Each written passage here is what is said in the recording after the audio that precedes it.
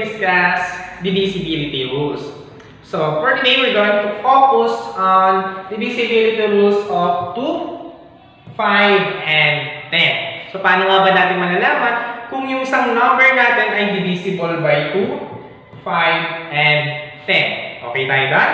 So, when we say divisibility, so, papasok sa atin sa isip yung divisible. Paano nga ba natin malalaman kung yung number na yun ay divisible by 2, by 5, or by 10? Okay? Ano nga ba yung sinasabi natin divisible? So, sabi dito, when you divide, okay, we're talking about division. Kapag nag-divide daw tayo ng one number by another number, the result is a whole number. Ibig sabihin, kapag ang number na yun, dinivide natin sa 2, sa 5, or sa 10, at ang naging result ay whole number, ibig sabihin, divisible yung number na yun. Doon, K2, K5, or K10. Okay tayo doon? So, magbigay na tayo na examples kung ano nga ba, kung paano nga ba natin malalaman kung yung number na yun ay divisible by 2, 5, or K10. Okay? Unahin natin K2. So, si 2. Ano sabi doon kay 2? Paano nga ba natin malalaman kung ang number na yun ay divisible by 2? So, sabi dito, sa 2, so if a number ends in 0, 2, 4, 6, or 8, ibig sabihin, yung number na yun ay divisible by 2. Ano ibig sabihin nun? If a number ends in 0, 2, 4, 6, or 8, the number is divisible by 2. Ibig sabihin, titignan lang po natin yung last digit, yung last number po nung um, number po na yun. Tingnan natin yung last digit. Then, titignan natin kung 0, 2, 4, 6, or 8, automatic divisible by 2. Magbigay tayo ng examples. Example, meron tayong 24, 18, 68, 102, 966, at 1022. Tingnan natin kung divisible by 2. So, titingnan lang natin yung last digit. Yung last digit lang po ng number ha. Then, titingnan natin kung pasok ba sa 0, 2, 4, 6, or 8. Okay? So, 24. Ano ba yung last digit ng 24? 4. Ang 4 is even number or pasok dito. So, 0, 2, 4, 6, or 8. Okay. So, yung 24, divisible by 2. Okay? Next, 18. Ano yung last digit? 8. Okay, divisible by 2. Next, 68. Last digit is 8. 68 is also divisible by 2. Okay tayo ba? Next, 102. 102, what is our last digit? So, last digit is 2. 102 is also divisible by 2. Very good. So, next is 966. Ano yung last digit natin? 6. 966 divisible by 2? Yes. Kasi yung last digit mo natin is 6 divisible by 2. So, pasok po siya doon. Okay, next.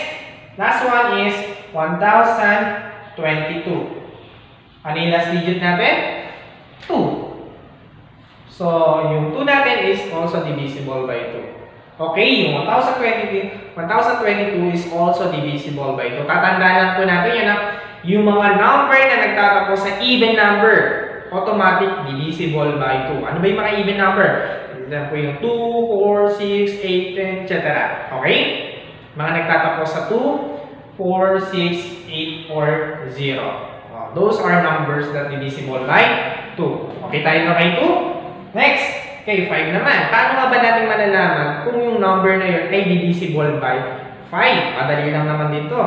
So, sabi dito sa 5, if a number ends in either 0 or 5, automatic, yung number na yun ay divisible by 5. Kapag ang nagtatapos daw, kapag ang number natin ay nagtatapos sa 5 or 0, automatic divisible by 5. Okay? If a number ends in either 0 or 5, the number is divisible by 5. Okay? Magbigay tayo ng examples. Titingnan natin yung mga last digit ng number na yon. Then, tingnan natin kung nagtatapos ba sa 0 and 5. Okay? Para masabi natin divisible by 5. First example is 15. What is our last digit? 5. Nagtatapos sa 5. Automatic yung 15 divisible by 5. Okay. Next, 35. 35, ano yung last digit? Yung 5. So, automatic, divisible by 5. Next, 75. Last digit is 5. So, automatic, divisible by 5 also. How about 100, 505? 505. Yung last digit niya is 5. So, divisible by 5? Yes, of course. Kasi nagtatapos tayo sa 5. Next, 300. Ano yung last digit niya? 0. Diba? If a number ends in either 0 or 5, automatic yung number na yun ay divisible by 5. Nagtatapos tayo sa 0, so automatic um, divisible by 5. So yung 300 is also divisible by 5. And last one, we have 1,000. 1,000, ano yung last digit? 0. So automatic, divisible by 5. Okay tayo dyan?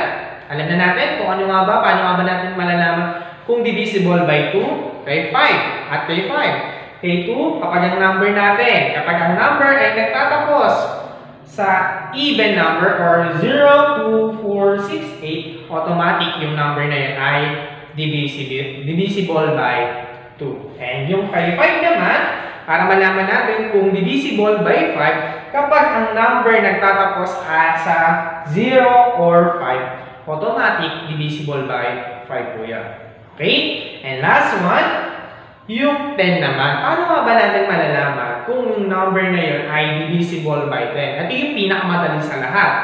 Ito yung pinakamadali sa lahat. Kasi lahat ng may 0 sa huling number, automatic divisible by 10. Sabi kasi dito, sa 10, para malaman natin kung divisible by 10, if a number ends in 0, automatic divisible by 10. Lahat ng number na nagtatapos sa 0, lahat ng number na nagtatapos sa 0, kahit gaano pa yan kalaki, basta't nagtatapos sa 0, automatic divisible by 10. Bigyan tayo ng examples. 20, nagtatapos sa 0, automatic divisible by 10. 50, nagtatapos sa 0, automatic divisible by 10 also.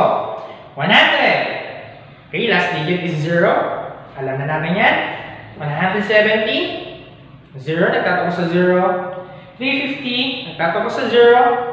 And 5,100, nagtatapos din sa 0. So, sabi dun sa 10 ha, if a number ends in 0, automatic yung number na yun ay divisible by 10. Nagkakaintindihan tayo about divisibility rules of 2, 5, and 10. Kapag 2, if the number ends in even number or 0, 2, 4, 6, or 8, automatic yung number na yun ay divisible by 2. Kapag 5 naman, if a number ends in 0 or 5, doon lang natin malalaman, masasabi na divisible by 5 kapag nagtatapos kay 0 or 5. Tanda natin yan.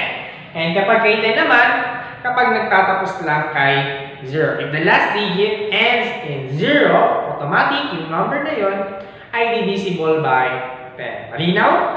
Okay.